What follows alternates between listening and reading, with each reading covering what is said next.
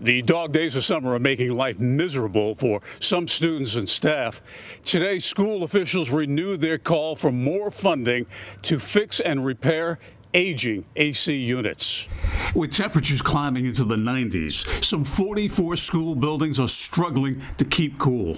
We are experiencing an unprecedented amount of work orders uh, within our HVAC system specifically. School administrators say they currently have more than 500 work orders involving AC problems. The superintendent says school buildings average more than 50 years of age, and many of them lack routine maintenance because of a lack of funding. And certainly, facilities is critical because no learning will take place if we can't uh, keep students in school.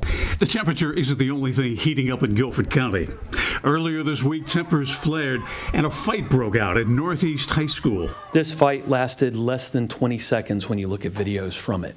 It was over quickly, the staff responded very quickly, and were able to keep things calmed down and got that to happen very quickly. No arrests were made, and school officials had no comment about possible suspensions. On a positive note, the superintendent reports no teacher shortage in Guilford County.